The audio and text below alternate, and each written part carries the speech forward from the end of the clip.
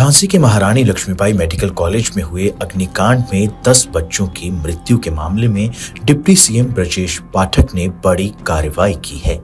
Deputy CM के निर्देश पर गठित चार सदस्यीय कमेटी की जाँच रिपोर्ट के आधार पर कॉलेज के प्रधानाचार्य को हटा दिया गया है।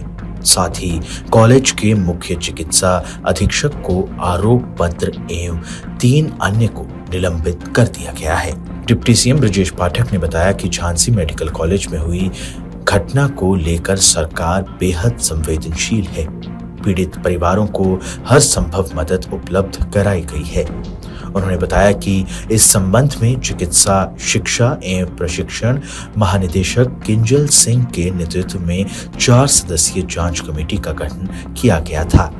जाँच रिपोर्ट के आधार पर कॉलेज के कार्यवाहक प्रधानाचार्य डॉक्टर नरेंद्र सिंह सेंगर को पद से हटा दिया गया है।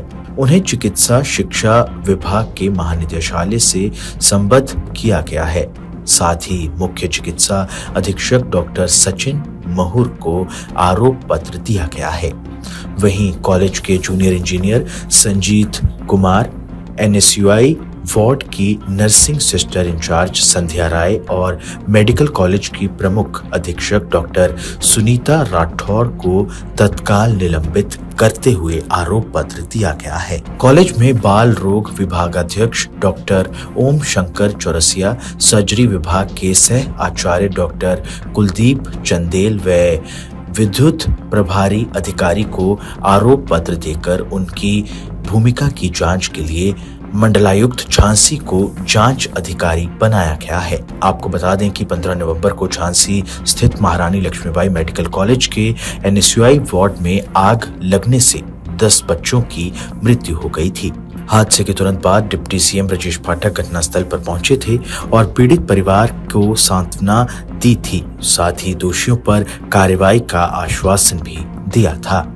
इस खबर में बस इतना ही। ये खबर आपको कैसी लगी हमें कमेंट कर ज़रूर बताएँ। देश दुनिया की तमाम बड़ी खबरों के लिए देखते रहें अमर उजाला।